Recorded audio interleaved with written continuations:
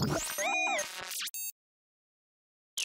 What is happening guys, Mike here, welcome back to the channel. Today we are looking at the newly reformulated and released Dynamite Clay from By Vilain. And as we talked about a while back, this brand has rebranded and updated their line. I have published vids already on the Gold Digger and Silver Fox, but today it's all about the Dynamite Clay, which the brand officially describes as a professional high-performing clay wax that adds maximum texture and hold with a matte finish. As far as packaging goes, it is in the same black 2.2 ounce jar that we're used to seeing from this brand, but with an updated label design that I think is actually very nice, and it's priced at $22 US, which can be discounted to $19.80 with code MMTV at checkout at the Slikhaar shop. Inside the jar here now, we do have the actual product. It is quite similar to what you might expect if you were one of the many people who tried this product in the past. The biggest thing that I see here too, coming from the old one to the new one, is that the new one is a bit creamier than the previous formula. Not a ton creamier, but definitely noticeably so. Obviously, too, that slicker consistency does translate into a little bit of a different experience when styling with it, and I'll be showing you all of that here on my usual method of use with products like this, clean, dry hair, and as I begin the demo, I first notice that I am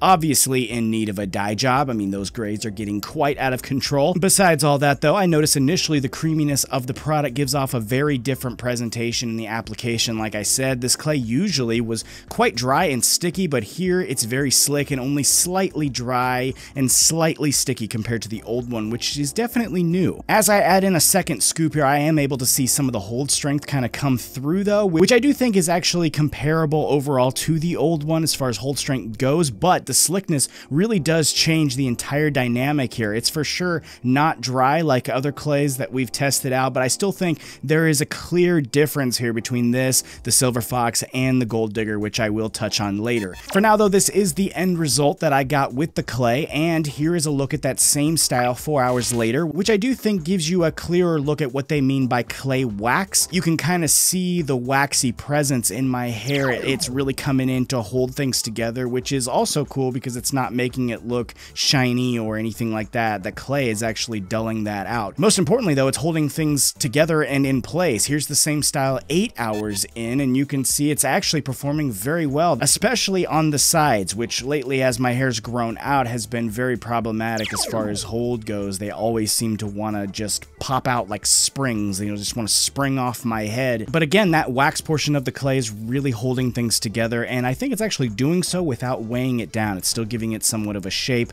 Texture, yes, is a little bit low. We will talk about that in here in just a second, but overall, I think eight hours in, this is looking actually very good. For me here, the major differences in this version versus the old one has to do mainly in the slickness of the product, and within that, the tack and stickiness. For me, this version is for sure more slick, which I think is actually an improvement because it opens itself up to more hair types comfortably. Folks with thin or fine hair, I think, will enjoy this more because it's not overly tacky or dry like I saw some folks say about the old formula. I think also this is a common theme actually amongst all of the reformulated products that we've seen so far from By Vilain. They've they've made each one more slick in their presentation and application and I think that really opens them up to more styling options and more hair types. I think also on the other hand you can argue that hold strength with that stickiness has gone down just a little bit. I think that only makes sense, you know, when you take something that's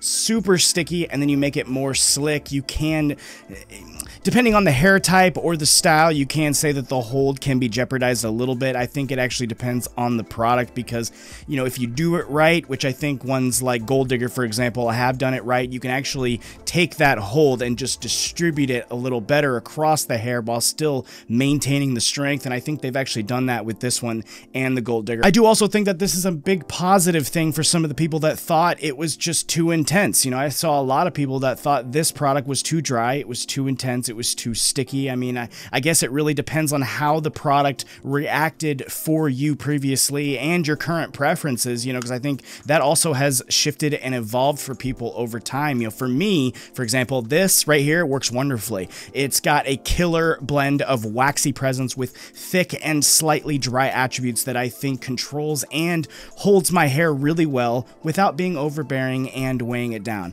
I do think that in my hair, though, little piece of criticism that it was a little bit light on the texture. I, I think I would have really liked to have seen some of that that clay effect. You know, I, I, saw a little bit of it in there with the matte finish, and it had a different overall feel than the Gold Digger, but it didn't have as much clay effect as I would have personally liked. You know, it's not the huge hugest deal because I think the end result still was also very good. But you know, if you're gonna call it a clay wax, I do think you should have some of the clay aspects in there. And really, once again, in the eight hour endurance test, I think it just performed really well. So that light light clay effect is really one. Uh, well, it's not the only piece of criticism for me. That that is one of them. The other one actually has to do with the scent, and I don't know if you can really call this criticism per se. I think the the scent is actually, I believe, the same as the previous version, so it's not like my most favorite scent in the world, but it's also not terrible. It's not it's not bad. It's it's nothing like I said, but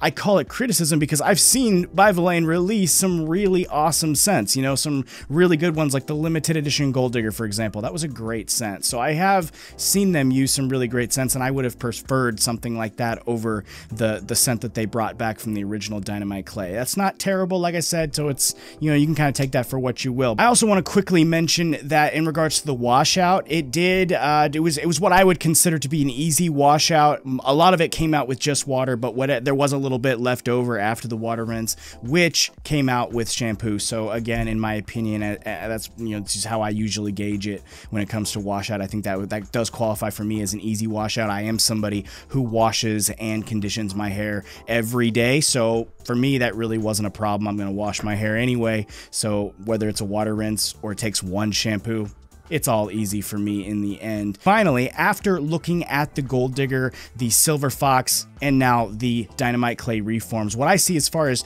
changes go is the Gold Digger has a matte finish with no texture hardly at all. I mean, some I think some people's hair you can argue that there's a there's a little bit of texture there, but for me, I didn't really see a whole lot, and, and, and I don't think there's really meant to be texture in there because it's just a, a wax. You know, it's not like this who actually that actually has the clay in there. So that's what I see with that. The Silver Fox, on the other hand, is similar in terms of performance, but it does have that little bit of gleam to it. You know, not a whole lot, just a little bit there. And then finally, we have the Dynamite Clay here, which comes in with the hold of the Gold Digger. I think it's actually very comparable to the hold of that Gold Digger, but it has a little bit of clay effect in there to keep things matte.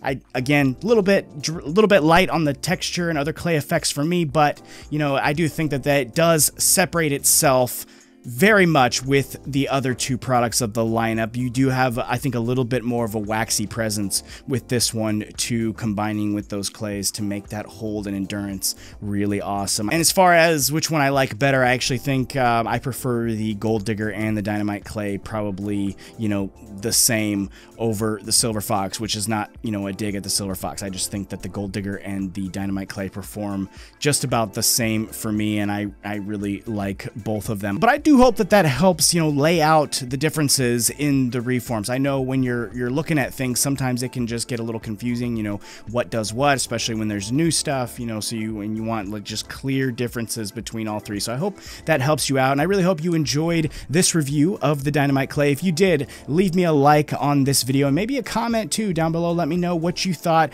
of the reformulated clay here and which product from the new reformulated lineup you prefer if you've tried them or or which one you want to see covered next. Also, if you have not yet subscribed to the channel, make sure you do that for me. It's a huge help and something that you can personally do for nothing that just helps keep things going around here. So please consider doing that and thank you very much in advance for hitting that button. That is it though for this one. I will be back with you guys here very soon and until then, take it easy. I'll see you next time. And thank you, Jeffrey, for the awesome camera movements during this episode.